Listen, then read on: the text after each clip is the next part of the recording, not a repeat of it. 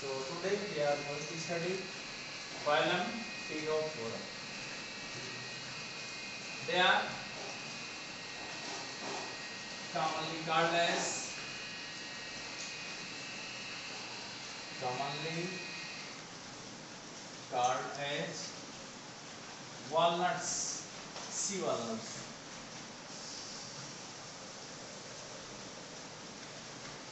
Commonly called as the sea walnuts or comb jellies ah. or comb jellies. These are called as. Next, where they are found, they are exclusively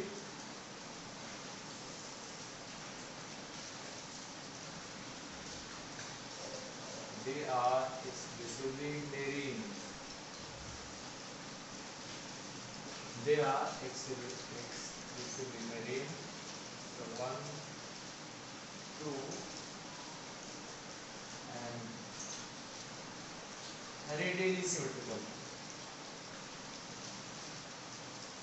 Radially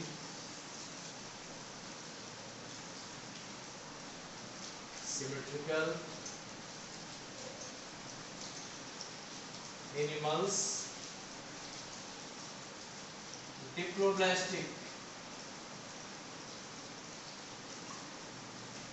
diploblastic with tissue level of organization diploblastic with tissue level of organization. Uh, this is very important feature locomotion.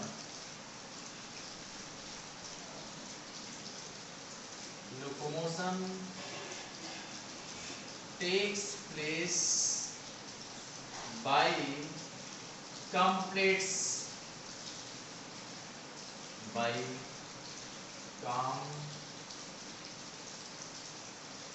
completes locomotion takes place by the complete this is the very important feature and uh, no other animals having such fe- uh, features and digestion this is also important feature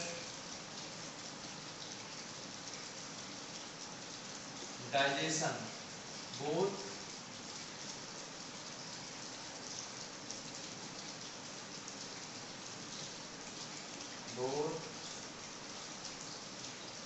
extracellular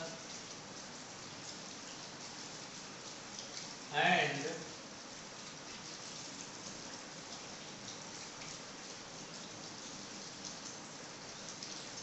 and intracellular. Digestion is both extracellular and intracellular. So, uh, uh, we have also studied this such type of digestion uh, in the phylum Coelenterata. So, uh, bioluminescence. This is very important features. Bioluminescence. Bio. B I O L E M I N E S C E S. Bioluminescence. Meaning these emits light. Emit light.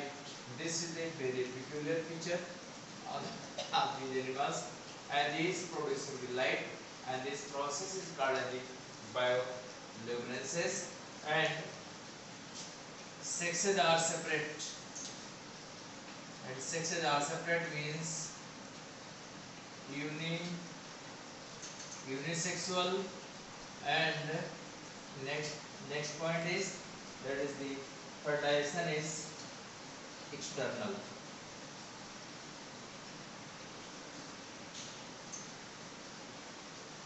Fertilization external. And development is development is indirect.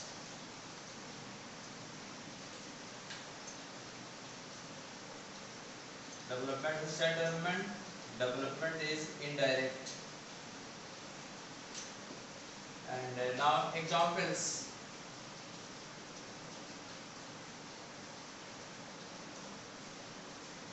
Examples are pleurobranchia.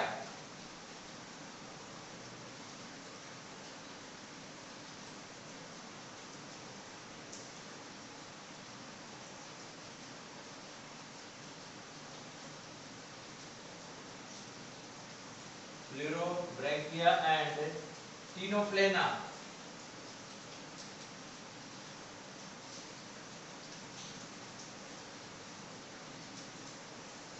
So these are the examples of the Ctenophora. Once again listen you. Uh, Ctenophora are commonly called as the sea walnuts or the comb jellies.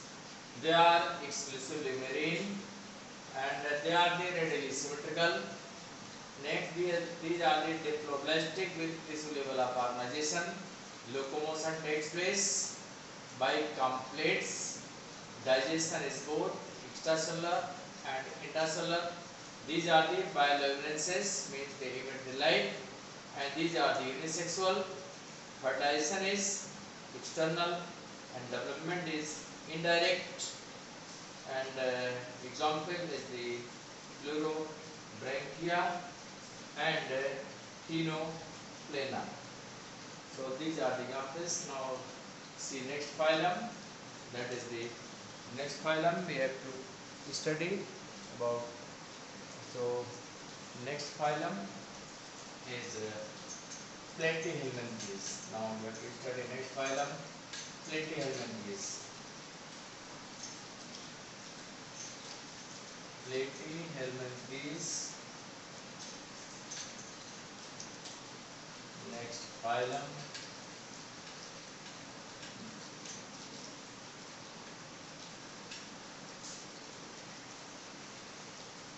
next phylum is platyhelminthes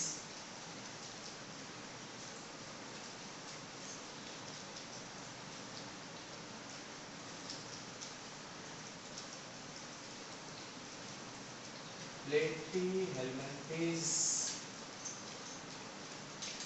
they are commonly called as the flatworms.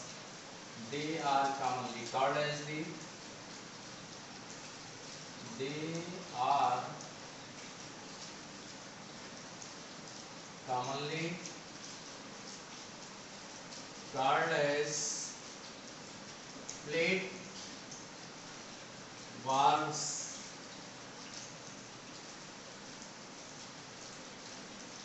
plate worms because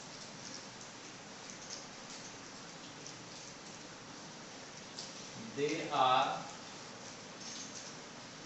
dorsoventrally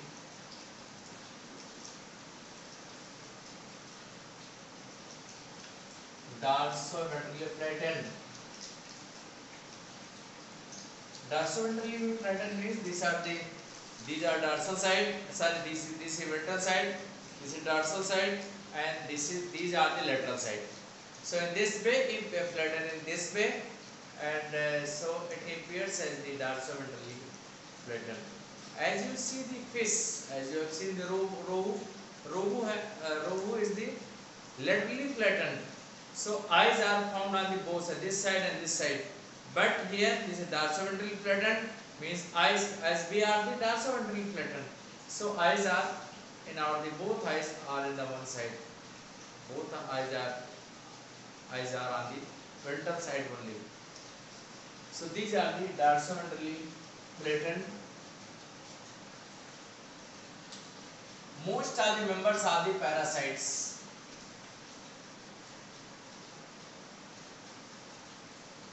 most of the members are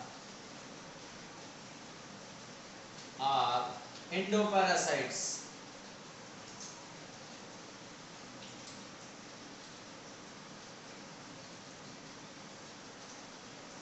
Endoparasites.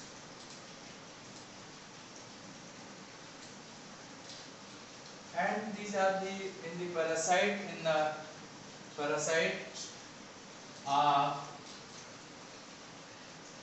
animals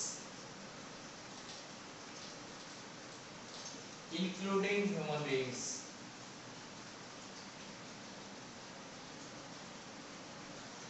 Including human beings. And these are the first animals to have the first uh, these are the first animals to have the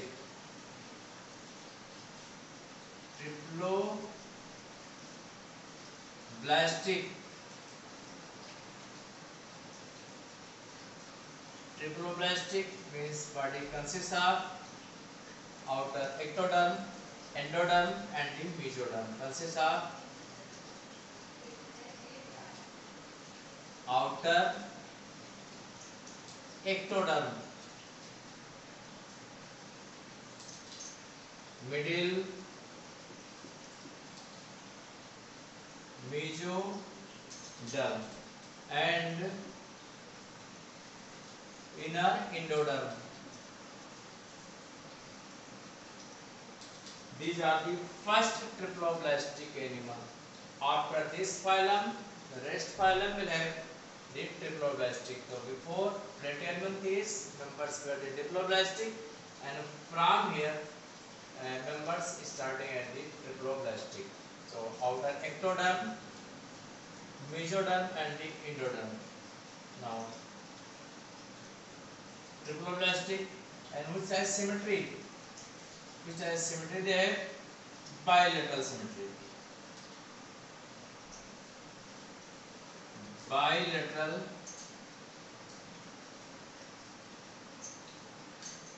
bilateral symmetry and fifth very important feature is there they have the organ level of organization next one is the organ level of organization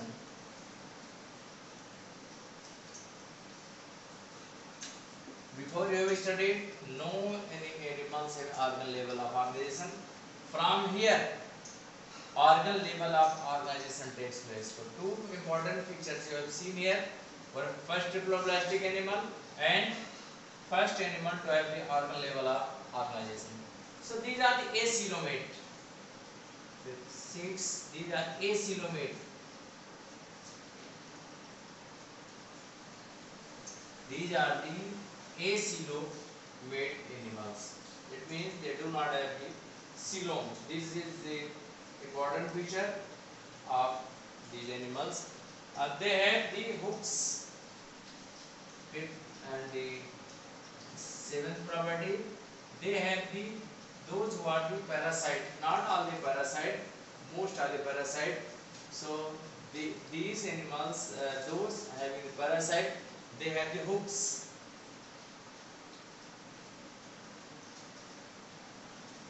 They have the hooks for sucking the food so some have the hooks and the suckers and suckers hooks and suckers are present in parasites hooks and suckers are present in the parasite so since these are the endoparasite so they most of the members having the uh, incomplete the digestive system. Digestive system is incomplete and consists of only the mouth. So next property we have the digestive system. So and digestive system is how, how much number we have studied so uh, digestive system incomplete digestive system is incomplete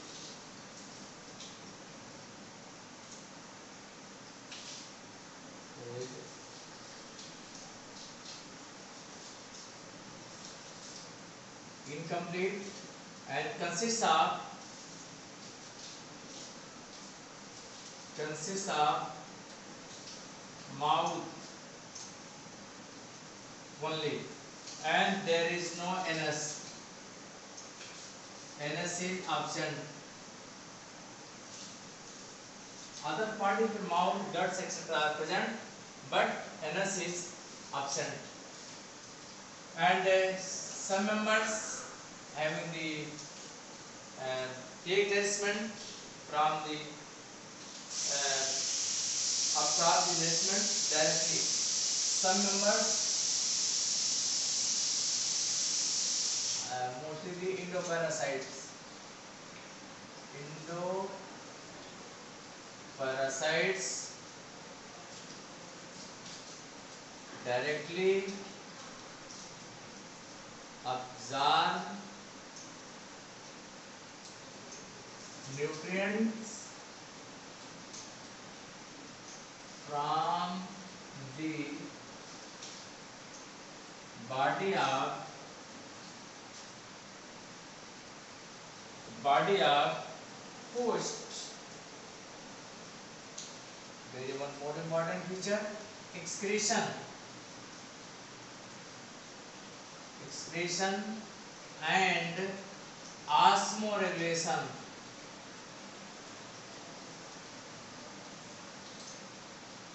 Excretion and osmoregulation takes place takes place by flame cells. By flame cells these individuals having the flame cells and these flame cells are responsible for the osmoregulation and the excretion both processes takes place uh, by these uh, by the flame cells and uh, fertilization.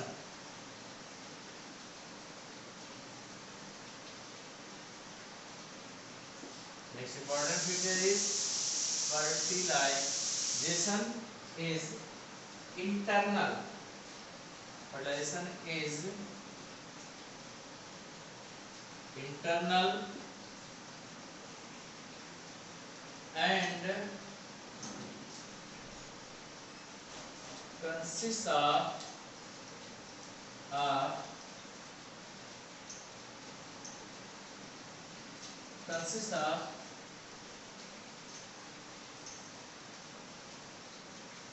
various types of larvae consists of various types of larvae.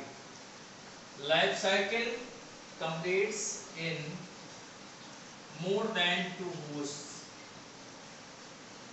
more than one host. More than one host is required to complete life cycle. Now we write examples. What are examples? You are handed to the planaria. Planaria has a great power of the regeneration. If it is pieces, it is divided into pieces. Each piece developed into the new planaria.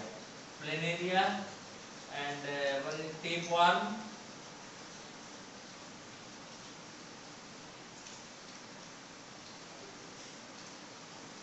Phaseola hepatica. Phaseola etc. So these are the two file of curtailment. Next time we will discuss about the new file possible